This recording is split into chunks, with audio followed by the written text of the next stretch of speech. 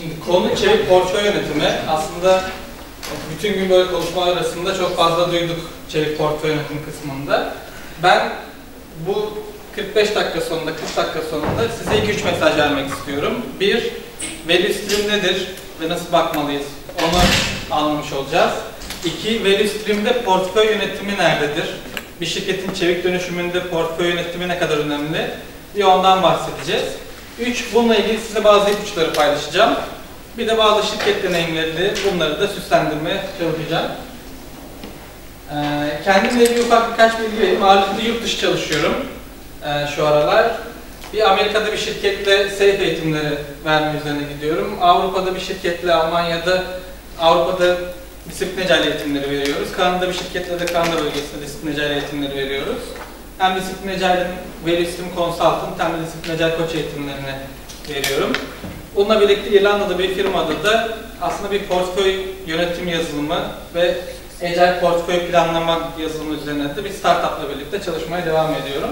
Orada yeni bir market yaratmaya çalışıyoruz. Onunla ilgili de ufak birkaç bilgi sizle paylaşacağım.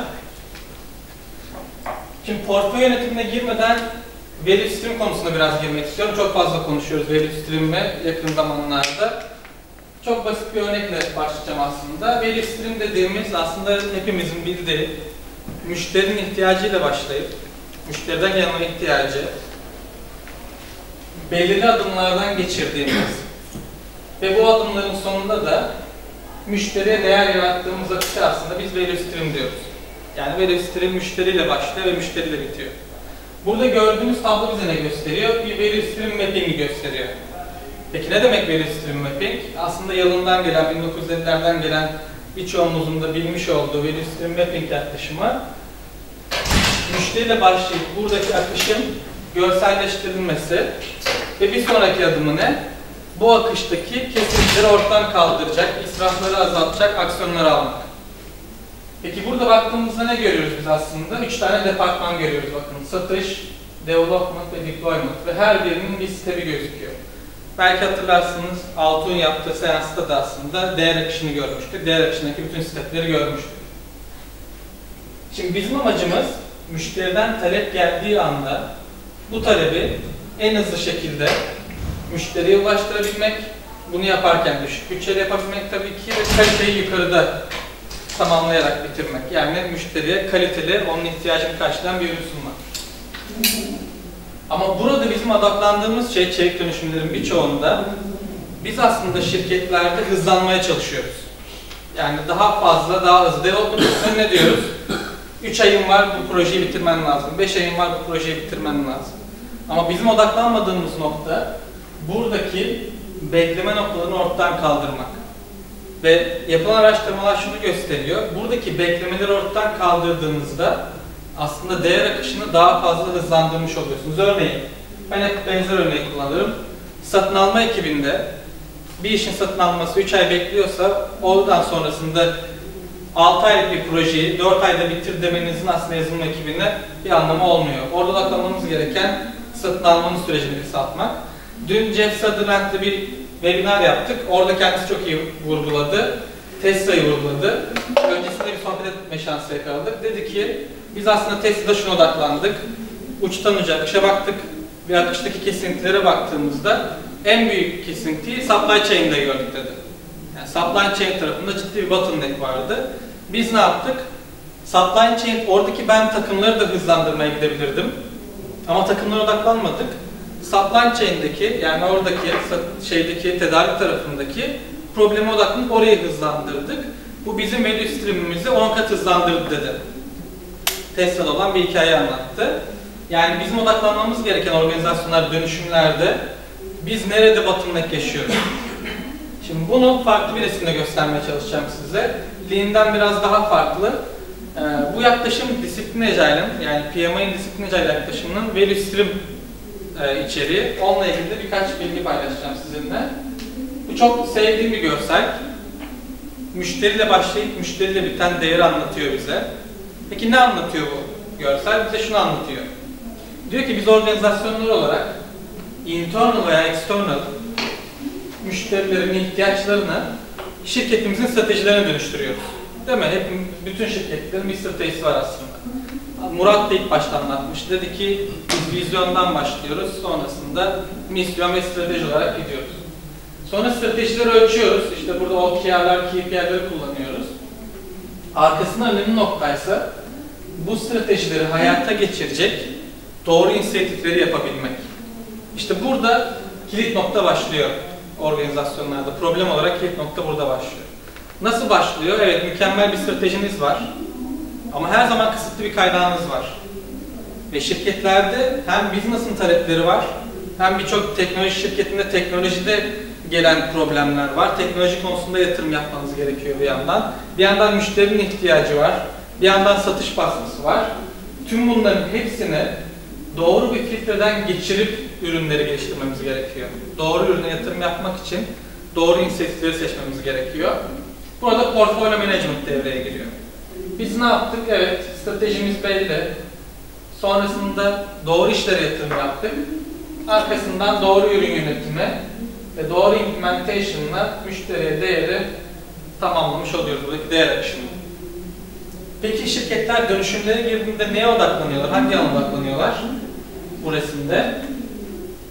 Aslında implementation alanına odaklanıyorlar. Scrum takımları kuruyorlar, Kanban takımları kuruyorlar. Bunlar neyi sağlıyor? Aslında bizim bu implementation, development alanında daha hızlı gitmemizi sağlıyor değil mi? Oradaki takımları daha ileri noktaya götürmemizi sağlıyor. Ama kaçırdığımız nokta, asıl büyük problem business direction alanında. Yani bizim odaklanmamız gereken doğru portföyü planlayabilmek ve buna göre organizasyondaki kaynakları çevik bir şekilde yönetebiliyor olmak gerekiyor. Peki bunu nasıl sağlayacağız? Bununla ilgili birkaç ipucu sizle paylaşacağım. Şimdi bu da ikinci görseli.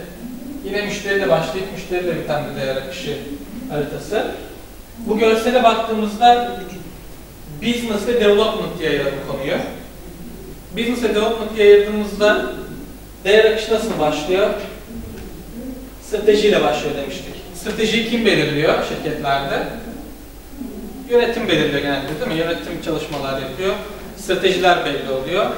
Stratejilerden sonra ne yapıyoruz biz?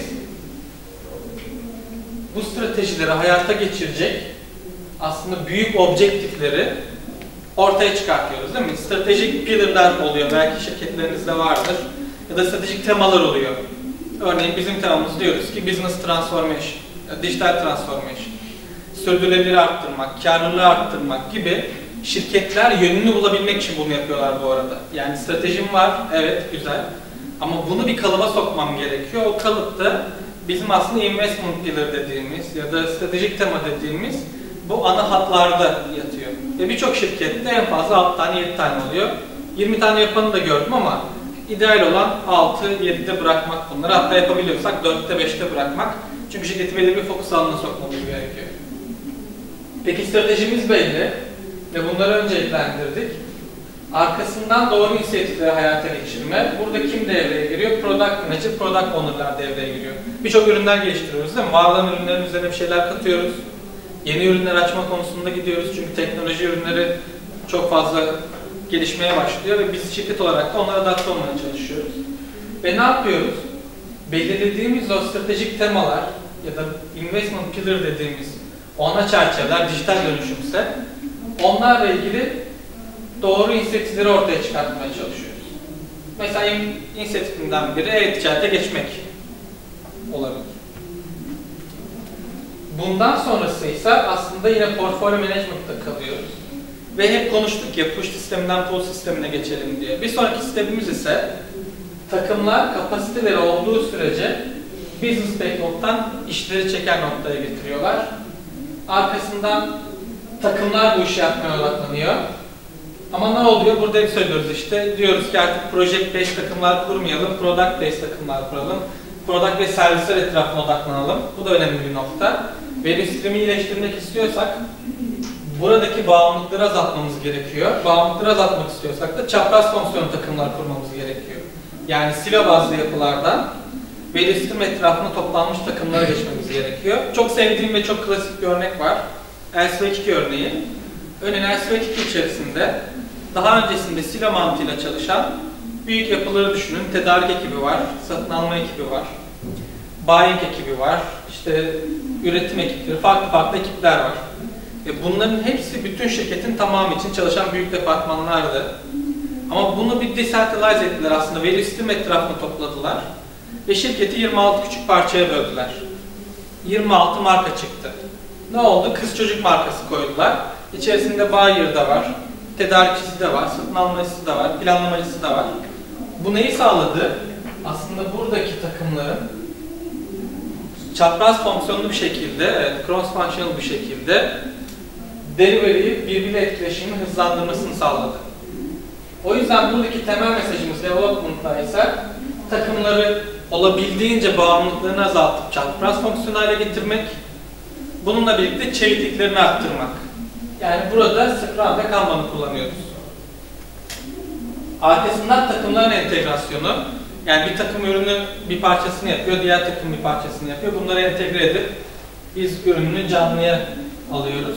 Burada entegrasyon ve sonrasında ise müşteriyle değeri buluşturuyoruz final noktada. Şimdi bu resme baktığımızda şirketler dönüşme nereden başlıyorlar? Yani development'tan başlıyorlar değil mi? Scrum takımları kuruyorlar, Kanban takımları kuruyorlar, çapraz fonksiyonlu takımlar, project based, product based takımlar kuruyorlar.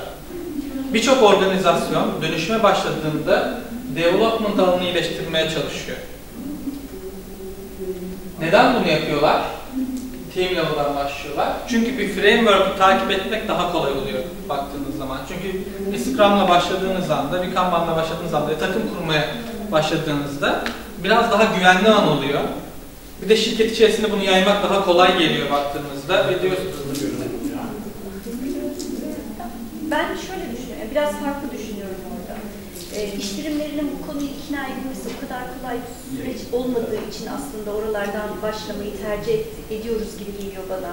Çünkü e, iş birimini ikna etmek, üst yönetimi ikna etmek e, dense zaten üretim hattının yürüdüğü development teamleri dönüştürmek, onları structure hale getirmek çok daha e, başlanabilir, kolay bir yöntem. Buradaki Şundan dolayı aslında. işte burayı değeri gösterdiğinde anca onları ikna edebiliyorsun. Yoksa hani hadi gel senden başlayayım deyip indiğinde zor. Bu güzel bir nokta. Burada veri üstüne bağlayacağım konuyu. Ve şöyle diyor bize veri üstüm. Pain point'iniz neredeyse, acı noktanız neredeyse aslında dönüşüme oradan başlamak önemli. Ne demek bu? MVC kavramını kullanıyoruz burada. Minimum Viable Change diyoruz. Ne demek Minimum Viable Change? Şu demek. Hep konuşuyoruz, sistem düşüncesi diyoruz. Sistemin bütününe bakmamız gerekiyor. Yani şuradaki veri üstünün bütününe bakmamız gerekiyor. Sistemin bütününe baktığımızda sistemin bir parçasını iyileştirmek, sistemin tamamını iyileştirdiğimiz anlamına geliyor mu? Gelmiyor. Sistemin tamamına bakmak gerekiyor. Peki sistemin tamamına baktığımızda bizim pain point'imiz nerede? Önce onu teşhis etmek gerekiyor. Pain point'imizin olduğu alan yani acı noktamızın olduğu alana bakıp o acı noktayla ilgili hızlı aksiyon aldığımızda bunun kazanımı daha yüksek olabiliyor. Şimdi yanlış doğru gibi söylemiyorum bu arada. Sadece birkaç ipucu vereceğim. O farklı bir noktaya getirecek sizi diye düşünüyorum. Şimdi yapılan araştırmalar evet çoğu zaman development. Bu arada development şey gibi düşünmeyin. Yani yazılım ekibi, işbirliği ekibi gibi değil. Veri stream olarak bakın konuya. Bir taraf değer ortaya çıkartıyor, çalışıyor değer için. Diğer taraf portfolyo management, product management tarafı. Yani farklı bir pencereden bakıyor. Şimdi, evet. Ya bunu sistem diyoruz ya. Hı hı. Bir, ben bankada çalışıyorum. Ya Büyük onlarca ürün var. Hı hı. Ben hani onlarca veri sistem var. Neye veri sistem diyeceğiz? Güzel bir nokta. Şimdi burada e, ben Alşalova ile çalışıyorum yakından. O hatta şey Kanban Üniversitesi kuran arkadaşlardan biri David Anderson'da. Onun çok güzel bir sözü var sevdiğim. Şey diyor, birçok organizasyonda biz veri sistemleri ortaya çıkartıp onların akışlarını çıkartıp onlar üzerinde çalışmakla çok yüksek zamanlar harcıyoruz diyor. Çünkü organizasyonların çoğunda veri sistemler, değişmen problemler benzer diyor. Yani bugün bir veri sisteminizin içerisinde portfolyo management ile ilgili problem varsa muhtemelen diğer veri sisteminde de var. O zaman ne yapmamız gerekiyor? Bunları ortaklaştırıp ortadan kaldıracak adımlar atmamız gerekiyor diyor. Yani biz ne yapıyoruz? Value stream identify etmeye çalışıyoruz. Value stream mapping yapıyoruz. Ve diyoruz ki 50 tane value stream'im var. Her birini birer tribe kurmaya çalışıyoruz organizasyonlarda. Bu bize nasıl zarar veriyor? Benim pain point'im aslında sisteme bütünsel bakacağım ya. Benim bütün organizasyonumun portfolyo management'ında bir problem var. Ne demek bu? Şu demek, tepe yönetim sürekli şey diyor. Bu işi acil şunu yapmamız lazım. Karar değiştiriyor. Bu arada karar değiştirmesi de normal bazen. Sektör değişiyor. Başka bir banka ya da farklı bir sektördeki bir rakip yeni bir ürün geliştiriyor. Getirden örnek verelim. Getir ne yaptı? Getir yemeği çıkarttı. Araç uygulamasını aldı. Şey diyebilirdi. İşte benim stratejinin içerisinde bu yok. Bunu şu an yapmayacağım da diyebilirdi. O yüzden bizim odaklanmamız gereken sisteme bir bütünsel bakmak ilk noktada.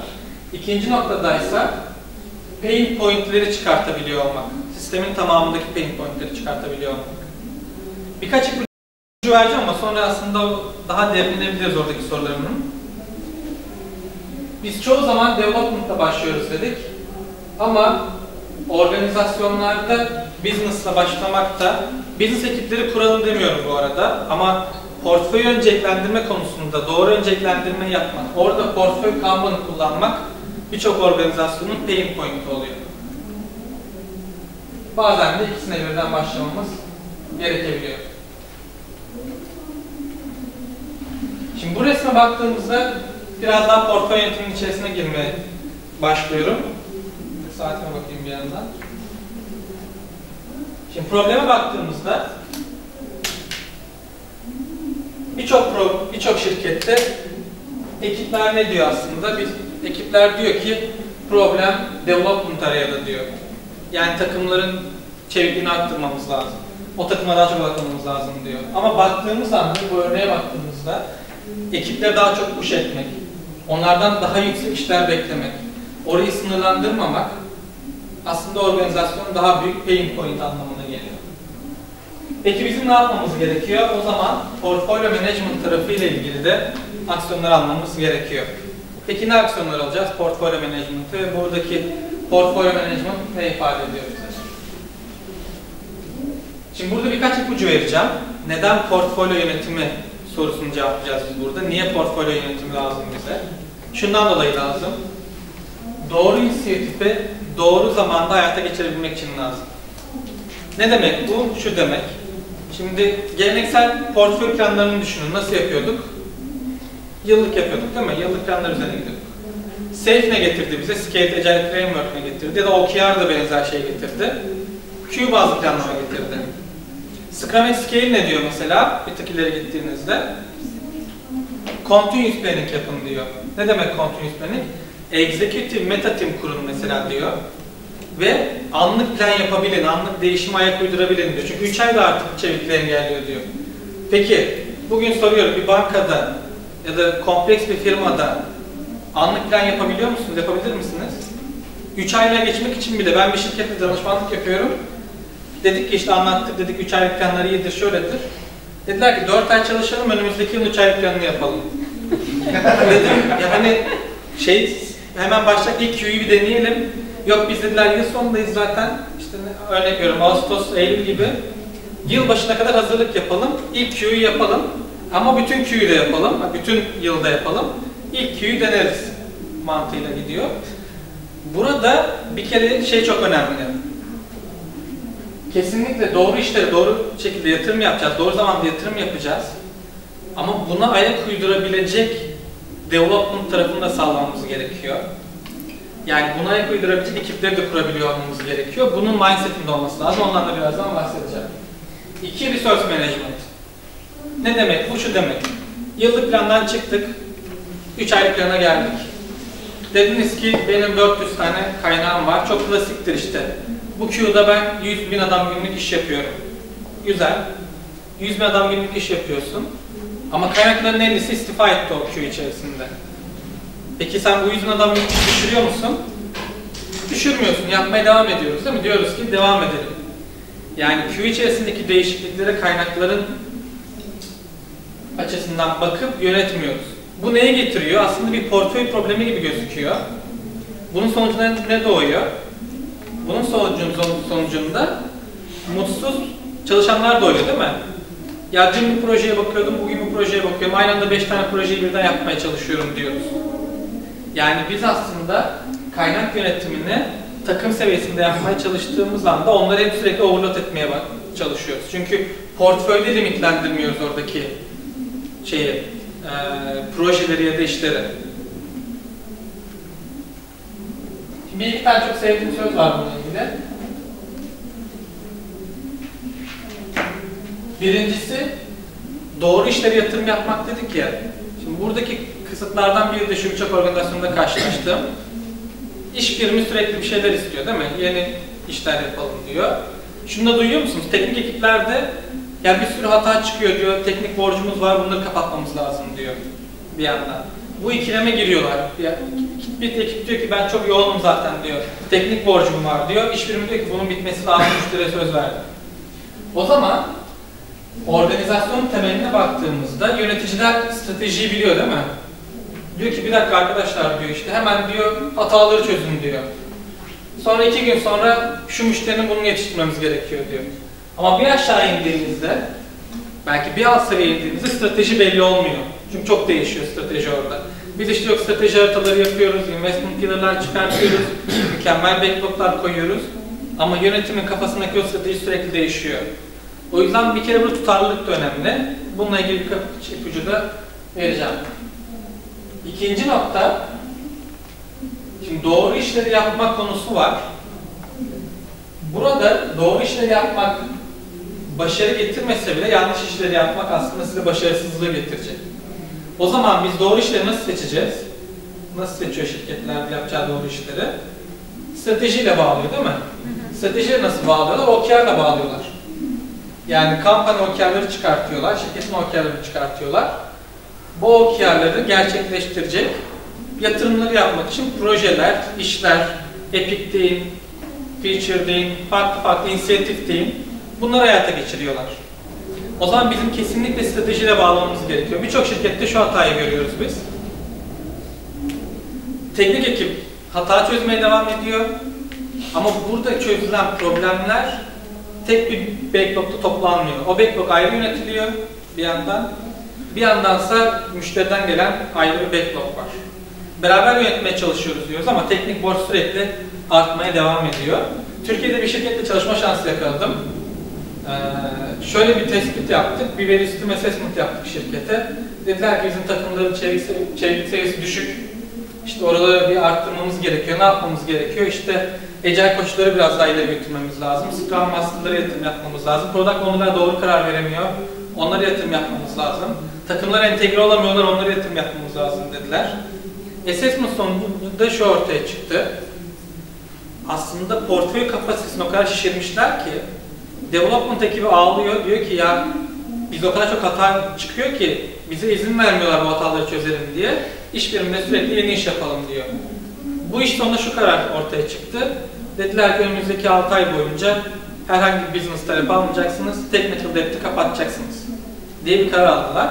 Her şirkette bunu aldıramıyorsunuz tabii. Ama bunu bir kültür haline getirmek de önemli. O yüzden bizim kesinlikle doğru işleri yapma noktasında stratejiyi de buna göre bağlamamız gerekiyor. Eren. Şunu anlıyorum senin söylediğin o zaman portföy seviyesinde de bir nevi bir deep limit mantığı bir şey olur. Koymamız gerekiyor, onu da göstereceğim birazdan. Nasıl koyacağımızı da göstereceğim. Şimdi resource management dedik. Üçüncüsü dependency management. Dependency yönetmeni yani bağımlı yönetmenin en iyi yöntemi nedir? Kendisini ortadan. Değil mi? Bağımlılığı ortadan kaldırmak. Nasıl kaldırıyoruz peki? Bağımlılıkları ortadan kaldırmak için ne aksiyonlar alıyorsunuz? Cross function. Aslında çok da yapamıyoruz ya. Cesaret geldi. Bir kere şunu bilelim. Biz kompleks adaptif sistemlerle çalışıyoruz. Ne demek kompleks adaptif sistem? Kompleks adaptif sistemler karmaşık organizasyonlarla çalışıyoruz. Ne demek karmaşık organizasyon? Bir takım bir üzerine çalışırsa başı kolay değil mi yönetmek? Üç takım bir üzerine çalışırsa, çalışırsa bir üzerine. Bir takım üç üzerine çalışırsa kolay. Ama ne diyorsun? Onlarca ürünümüz var, onlarca takımımız var. Bir de bunların supportive teamleri var. Marketingi var, HR'ı var, işte hukuk ekipleri var, X ekibi var, Y ekibi var. Bir yandan farklı ekipler var, bir yandan servis ekipleri var. O zaman bu ekiplerin hepsinin birbirine entegre olması gerekiyor. Böyle bir dünyada hadi tribe'ı kuralım da bütün bağımlılıkları sıfıra indirelim bir dünya mümkün mü? Çok Değil. Hatta biriyle sohbet ediyorduk arada. Spotify'ı çok araştırdım. Onlardan konuşmak çağırdım. Gelmiyorlar bu arada. evet, Spotify konuşmasını çağırdım.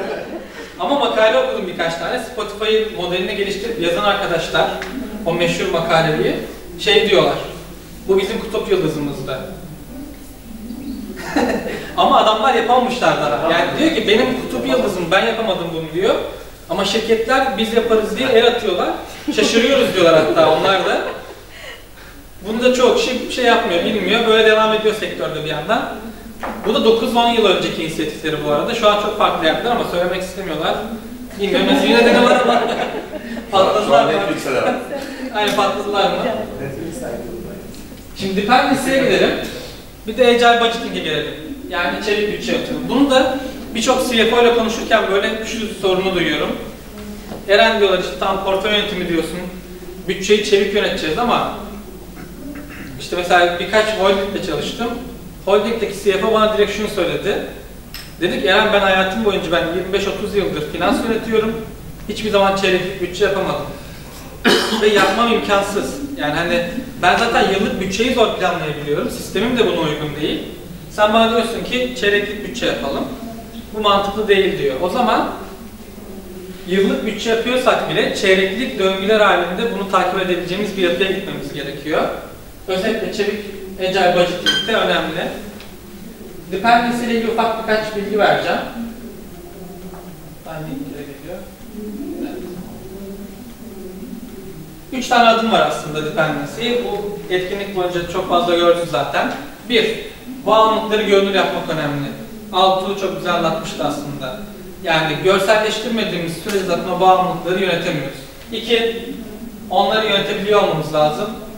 Üçüncüsü ise onları elimine etmeye çalışıyor olmamız lazım. Çok basit aslında. Görselleştirmek, yönetmek, elimine etmeye çalışmak. Buradaki bağımlılıkları. Şimdi portfolyo management mindset'ine geleceğim biraz daha. Buradaki mindset kavramına geleceğim. Bir kere zihniyeti şu şekilde değiştirmek gerekiyor. Tepede portföy seviyesinde. Biz değer odaklı gitmemiz gerekiyor. Ne demek değer odaklı gitmek? Strateji hayata geçecek işleri yapmak. Kosta bakmamak. Ama birçok organizasyon ne yapıyor? Yıllık bütçeyi, yıllık portföyü planlıyor. Ve diyor ki benim bütçem bu kadar. Şuna şahit oldum birçok organizasyonda. Bu proje değer yaratmıyor ama kapatamıyorlar projeyi. Çünkü o projeye yatırım yapılmış zaten. O projenin tamamlanması gerekiyor. Sonra ne yapıyoruz? Proje yönetimi koyuyoruz başına. Diyoruz ki bu projeyi bu tarihlerde bitireceksin. Bütçen bu. Ve diyoruz ki kapsamın bu. Sonra o arkadaşa diyoruz ki sen gelenekselsin. Şimdi biz sistemi zaten yanlış kurguluyoruz değil mi burada baktığımızda? Yani o adamın hedefi ne? Zamanında bitirmek, bütçeyi aşmamak, e, kapsamda bitirmek, sonra değişime karşı direnç gösteriyorsun diyoruz. Ya da şey diyoruz ona, değişiklik yönetiminde sen değişiklik yapmayalım diyorsun. E, yaparsa adam başarısız olacak zaten. E, baş, para da yok bir yandan baktığın anda. Statü raporları zaten biliyorsunuzdur aşağıda kırmızıdır, o yavaş yavaş sarı olur. Tepe yönetimi bir kere kırmızı çıkarttığınızda zaten sallanırsınız. O yüzden tepe yönetimi yeşil gitmeye devam eder, proje biter. Bu şekilde hayat devam eder. O yüzden bizim value code, value first'e bakmamız lazım. Yaşamıyorsunuz diye biliyorsunuz tahmin ediyorum. Yaşamak için hemen. Burada outcome based olmak lazım. Yani bir değer hedefi koymak lazım. Belki OKR'la bağlamak, takıma OKR koymak bunlardan bir adım ya da stratejiye hizmet edecek işleri yapmak da ikinci adım. Cost of delay'i minimize etme. Bunu çok vurguluyorum. Ne demek cost of delay'i minimize etme aslında? Şu demek. Bugün başlatmadığınız her şey aslında sizin için sizi geriye götürebiliyor değil mi? Şunu düşünün. İşte getir yemek uygulamasını yapmasaydı Sektör değişmeyecek. Aslında getiri yemek uygulaması yapmasaydı yemek sepeti bana bir yaptıktan sonra ciddi bir rekabetle getiri piyasadan silebilirdi. Baktığımızda. O zaman cost of delay ne demek? Gecikmenin maliyeti. Yani bizim kesinlikle işleri doğru zamanda başlatmamız önemli. Bugün bu projeyi iptal etmek de bir strateji. İlk günde bir projeyi iptal etmek de. Birçok şirkette emekliye ayrılmayan ürünler görüyoruz değil mi? Bu product management ile alakalı bir problem. Ürünü kapatamıyorsunuz. Çünkü bununla ilgili karar veremiyorsunuz ama onun emekliye ayırmakta sizin cost of play'inizi hızlandıracak. Yani buradaki değeri arttıracak bir yaklaşım. Burada ne demek? Stable teamleri project teamler ötesine geçip yani yangınları söndürmeyelim sürekli. Buradaki kalıcı takımları kurmaya çalışalım. Takımları bir üstün etrafına toplayalım. Çapraz fonksiyon takımlarla. Rolling way plan yapalım. Ne demek? Döngüsel planlama yapmak demek aslında. Yani kısa vadeli detaylı planla. Ama şu da değil. Mesela birçok organizasyon yaptığı hatalardan biri şu. Portfolyo planlama yapıyorlar. Sadece önündeki 3 ayı planlıyorlar. Ama portfolyo roadmap'ini çıkartmıyorlar. Peki bunun dezavantajı ne? Bakalım.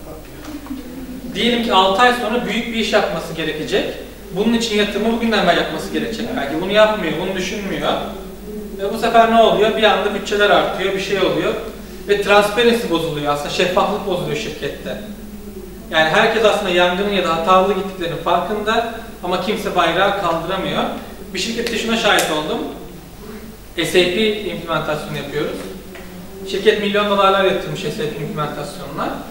Ama Y ürünü var, daha uygun fiyata. Oturduk ekiple bir analiz yaptık. Dedik ki Y ürünü seçersek SAP'ye verdiğimiz para çöpe gidecek. Ama bundan 3 yıl sonra diğer ürün daha yüksek fayda getirecek şirkete. Şirket ne karar verdi ya da yöneticiler ne dedi?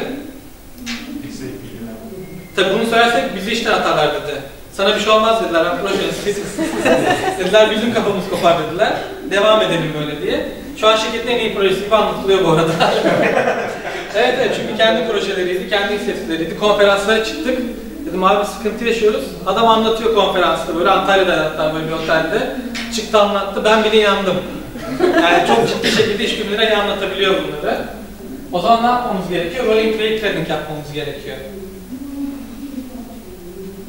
Small yani küçük inisiyatiflere odaklanmamız gerekiyor. Büyük işler yapmak yerine. Bir de yatırıma daha doğrusu kalite yatırım yapmakta buradaki mindset'in diğer kavramı. Şimdi peki bunu nasıl yapacağız? Onunla ilgili birkaç ipucu vereceğim size. Organizasyonlara gidiyoruz. Biz teknoloji ilan dediğimiz startupla mesela teknoloji üzerine yatırım yapıyoruz. Bir yandan ben de farklı frameworklerle danışmanlık yapıyorum. Nasıl birleştirdik buradaki yapıyı? Şöyle birleştirdik. Dedik ki portfolyo problemimiz, portfolyo konusundaki problemimizi gelin teşhis edelim. Nasıl yapıyoruz? Diyoruz ki bakın ideal portfolyo yönetimi bu şekildedir. Gelin burada problemlerinize bakalım. Siz hangisini yapamıyorsunuz? Sizin için bir aksiyon listesi çıkartalım ve bunu teknolojiyle birleştirelim. Buradaki kilit nokta ne? Burada kilit nokta şu. Biz organizasyona gidip, yani ben şunu desem, Samet 3 aylık planlar yapacağız, Epic kullanacağız, bunu kullanacağız dediğim anda aslında bir kutuya sıkıştırmış oluyorum değil mi? Ve bu sefer o kutuya sıkıştırdığım için de şirketin gerçeklerini göz ardı edip bir yöntem geliştirmiş oluyorum. O zaman şirketin pain pointlerine göre yöntem geliştirmek önemli. Bakalım buradaki çıkarttığımız boyutları. Boyutları kendimiz geliştirdik. Dedik ki birincisi stratejiyi ölçebiliyor mu şirket? Portföy seviyesinde stratejiyi ölçebiliyor mu? Evet, stratejim bu diyor ama bunu ölçebiliyor mu? İkincisi kaynaklarını efektif kullanabiliyor mu? Bu takım seviyesindeki planlamadan bahsetmiyorum. Portföy seviyesinde bir limit koymaktan bahsediyorum. Ama bu büyük limiti 3 aylık koymaktan da bahsetmiyorum. Takımların 3 ay içerisindeki değişen döngülerine reaksiyon verebiliyor mu? 10 kişi çıktığında 5 tane projeyi iptal edebiliyor mu şirket? Planlama içerik yapabiliyor mu? Yani değişen günlerde hızlı planlama yapabiliyor mu? Ne demek bu? Yeni bir inisiyatif geldi. Başka bir inisiyatifi hattan çekebiliyor mu, durdurabiliyor mu? Bir yandan bunun communication'ını sağlayabiliyor mu? Yani bütün paydaşları içeriye koyabiliyor mu? Baktığınızda en çok tıkanıklıklar mesela işte tedarik zincirinde, HR'da bekleyen konular olur, satın almada bekleyen konular olur, hukukta bekleyen konular olur. Buradaki komünikasyonu doğru sağlıyor mu? VIP limit koyabiliyor mu portföy seviyesinde? Yani takım 400 kişi ve buna 200 tane iş aynı anda yapabilecek, bunu kısıtlandırabiliyor mu? değer bazlı önceliklendirme yapabiliyor mu? Burada weighted shortest job first formülü var. And measure bir formüldür. Ee, onu da not almanızı tavsiye ederim eğer kullanmıyorsanız. Weighted shortest job first. En değerli iş en önce. Çok basit bir formül. Hemen anlatayım size. Cost of delay'i işin büyüklüğüne böl diyor. Ne demek cost of delay peki? Bir, bu işin getirdiği şirkete değer ne? Stratejiye ne kadar uyumlu? Bunu al diyor. Buna bir puan ver diyor. İki, bu işin gecikme maliyeti ne senin için diyor. Bugün yapmazsan, 3 ay sonra yaparsan sana bir zarar getiriyor mu diyor. Üçüncüsü de bir riski var mı diyor. Yani örneğin bunu bana getirmiş olduğu risk architectural risk vardır, teknik risk vardır diyor. Regülasyon Yani regülasyon olabilir. Bunları topla diyor, cost of delay'ini çıkar. İşin boyutuna böl diyor. Küçük işlere yatırım yap demiştik ya, oradan geliyor zaten. Sonunda diyor, senin zaten puanın çıkacak diyor. Bu da value based prioritization. Yani. Şeyin riski şeyi en yüksek olur. Yapması en kolay işi olan en hızlı yap. Aynen öyle. Peki roller accountable mı? Bir problem olduğunda accountable roller var mı? Bütçeyi çevik yönetebiliyor musun? Ve son olarak da buradaki bağımlılıkları iyi yönetebiliyor musun? Ne demek bağımlılıkları iyi yönetebiliyor musun? Portföy seviyesine çıktığınızda 20 tane value stream var dediniz ya, 20 value stream arasında da entegre olması gerekecek değil mi? Bir işi 4 value stream de yapması gerekecek. Bunlar doğru entegre oluyorlar mı? Ya da bir value stream içinde 4 takım var. Bunlar kendi aralarında entegre oluyor mu? Bunlara bakmak gerekecek. Bunun sonunda bir analiz çıkartıyoruz şirkete. Bu analiz sonunda da onların süreçlerini iyileştirmek için onlarla beraber çalışıyoruz aslında. Birçok firmayla. Şuraya geçeceğim. Zaten bunların alt başlıkları var. Ama çekmek isteyen varsa durabilirim burada. Şurada. Bu slide'ları alma şansınız var mı? Benim şarjım. Şarjım. Satıyorum şey. Beş Atar, atarım bu arada.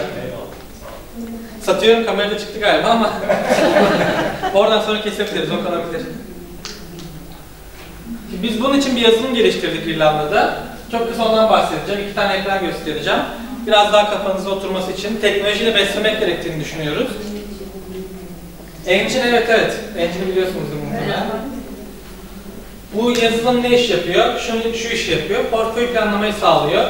Biz ne yaptık? Nasıl teknolojiyle besleyeceğiz dedik. Bütün inisiyatiflerimizi çıkartıyoruz. Aslında en tepedeki şirketin yapacağı bütün işleri. Bunu bir roadmap'e döküyoruz. Kaynaklarımızı alıyoruz. Ve diyoruz ki bu işler önceliklendirme formülüne koyduk. Bu önceliklerle, bu bağımlılıklarla birlikte, bu kaynaklarla hangi roadmap'te çıkar diye size yazılım otomatik bir roadmap sunuyor. Buradaki kritik nokta ne peki? Kritik nokta şu, demokratik karar vermiyoruz şirketlerde. Ne demek demokratik karar vermek? Yönet- Daha çok bağırırsa.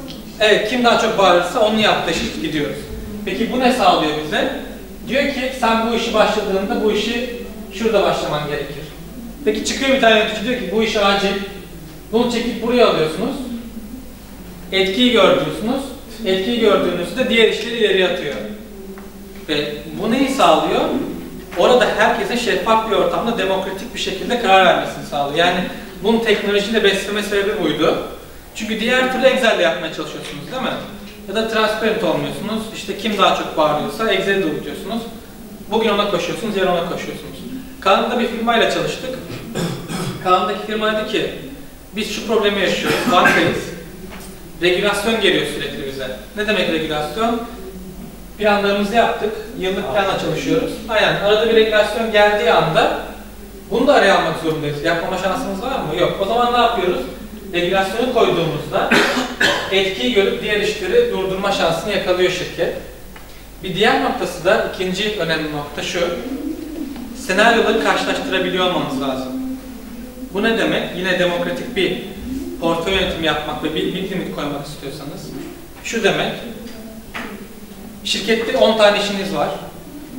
Tepe yönetim çıktı. Arkadaşlar iki tane çok önemli iş var dedi. Bunları da içine katmanız lazım dedi. Hangi ne seçenekleriniz var peki o işleri katmak için? Ne yapabilirsiniz? Real hayatta var olan işlerimizden ekliyoruz. Ama normalde çıkartmadan bir çoğu şey zaman. Çıkarmak. Ya çıkartmak gerekiyor ya kaynak almak Aynen. gerekiyor değil mi? O zaman şunu biliyor olması lazım yönetim. Benim bu senaryoda, birinci senaryoda hiçbir kaynak almazsam bu işleri ötelemem lazım. Ya da şu kaynakları alırsam o zaman şu kadar maliyeti arttırmam lazım diye o senaryoları karşılaştırıp yatırım ona göre yapıyor olması lazım. Bu da doğru portföy planlaması ihtiyacını doğuruyor. Şimdi bu seviyede, tepe yönetim seviyesinde bu şekilde bir planlama yapmadığınız durumda demokratik bir ortam yaratmanız çok zor. Çünkü istekler değişecek, ihtiyaçlar değişecek. Siz anlık olarak o değişen ihtiyaçların etkilerini göremiyorsanız ya da bir karşılaştırma imkanı veremiyorsanız o zaman ne olacak? Sesi en yüksek çıkanın yapacaksınız ya da hepsini aynı anda başlamaya kalkacaksınız. Bu neyi sağlayacak? Ekipleri de motive edecek bir yandan. Bir yandan da kapasitenin üzerinde iş aldığınız için zaten bitirme süreniz de zarar görecek. Değer akışlarınız da zarar görüyor olacak. Bu da bir diğer örneği. Burada da biz mesela stratejiyle bağladığımız bir ekran. Yani diyoruz ki bunlar stratejik pillarlar.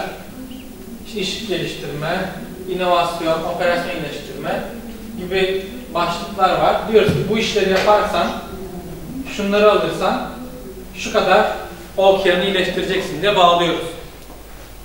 Bu kendi başına çalışan bir oluyor yoksa bir jirayla falan bir entegrasyon. Jiral entegre zaten. Yani e, çünkü buradaki hedef şey değil. Doğrudan bir jiranın yerini almak değil. Burada yeni bir market var. Aslında kontrol yönetim aracı gibi aslında. Şöyle, evet. Simülasyon aracı gibi. Evet, şimdi sektördeki boşluk şu. Nasıl? Evet. Yani sektörde şu var. Herkes stratejiye ve okyer odaklı değil mi? Bunun için birçok tool var. Bir yandan takımların işlerini yapmak için çok tool var.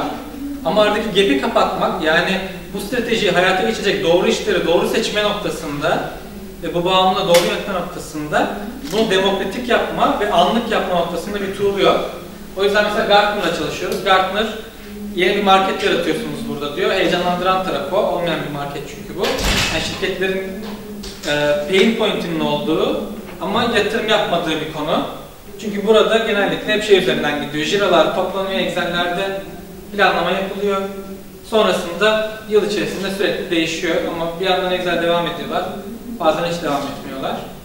O yüzden böyle bir e, farklı bir araç var. Konuyu şöyle bağlamak istiyorum. Biraz geriye alacağım.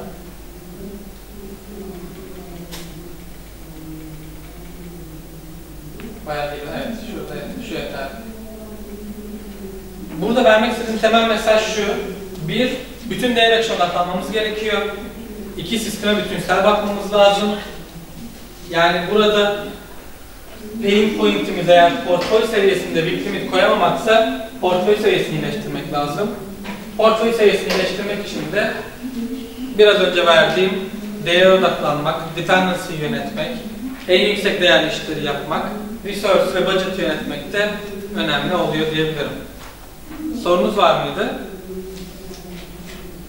Saat buçuğa gelmiş, herkes kaçmak istiyor bir yandan da. o yüzden Peki nasıl kullandınız tam olarak? Onu biraz daha misiniz? bip limiti mi? Bip limit zaten en temel şu, şöyle kullandık.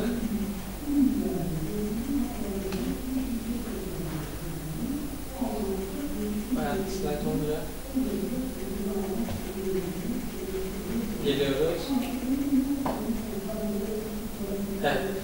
Bip limit şöyle, işleri çıkarttıktan sonra mesela bazıları ongoing diyorsun zaten. Yani diyorsun ki bunlar ongoing'ti, farklı renge boyuyorsun. O zaman ongoing işleri kapatmıyorsun genellikle. Bir yandan yeni gelen işleri koyuyorsun ve bütün portfolyo çıkıyor. Kaynakları koyduğunda ve budget'ı koyduğunda, budget'ı limitlendirmek istiyorsan bütçeyi, bunlarda plan yap dediğin anda zaten otomatik bir limiti koyuyor. Şöyle yapıyor, bir roadmap çıkartıyor, portfolyo roadmap çıkartıyor ortaya. Ve şunu fark ettik, ee, şirketlerin datalarını aldık, bu dataları alıp bu haritaya koyduğumuz anda bugüne kadar çalıştığımız hiçbir şirkette kaynağı aşmayan, yani şurası kırmızı oluyor şu şekilde, kaynağı aşmayan bir şirket görmedik. Yani ama hiçbir yerde görmüyor o kadar bir şekilde portföyünü. Kaynağı aşmayan şirket görmedik ve şunu yaptık. Dedik ki tekrar planla şöyle koyuyor. Diyor ki kaynakların bunlar. Bu kaynaklar şu konularda uzmandır diyor. Onları işte kaynağı eşleştiriyor. Üstüne budget'ını koyuyor. Bunları hesaplayıp roadmap'i çıkartıyor. Ve şöyle sonuçlar ortaya çıktı. 6 aylık bir roadmap var. Halbuki gerçek hayatta baktığımızda bu bir buçuk yılda eleyebilecek bir roadmap'miş.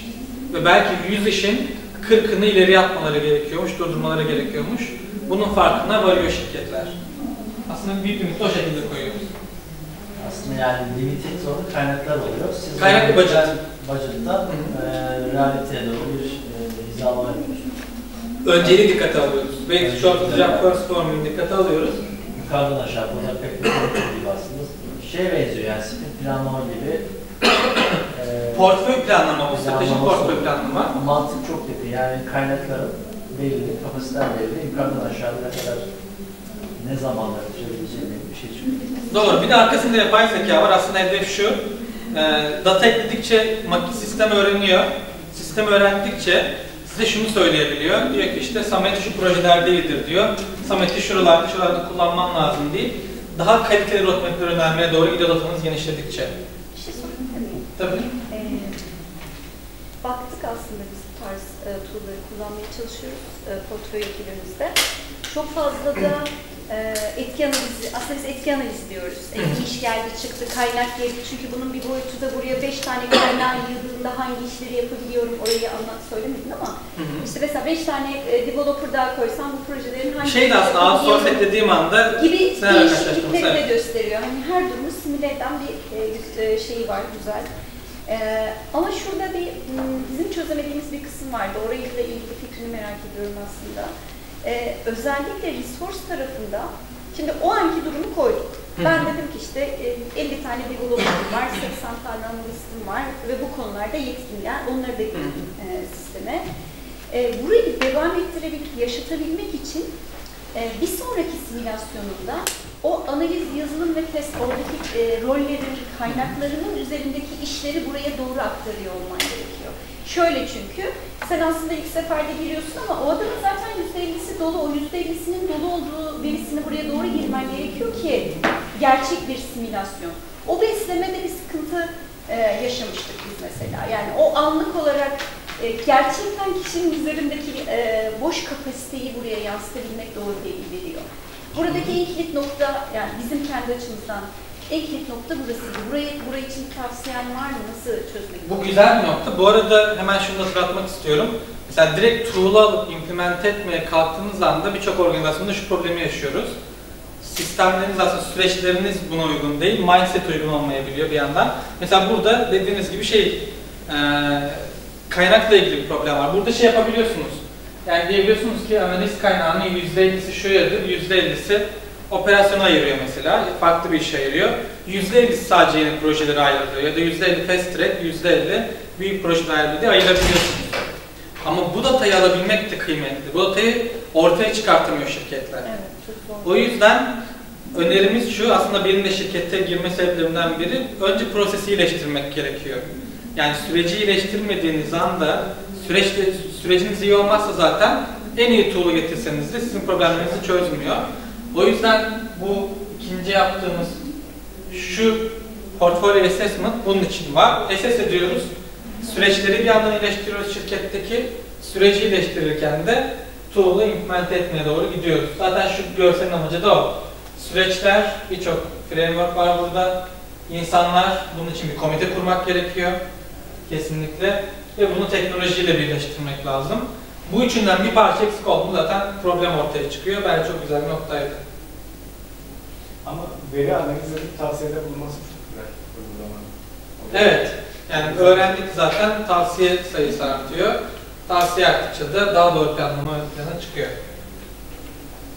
Diyeyim. Ee, bir sorunuz var mı? Yoksa artık Eren yorulduk çıkalım diyelim. Şey, bir tane kitap getirdim ama nasıl vereceğimi bilmiyorum. Bir çekiliş de yapamadım. Sarı var hocam.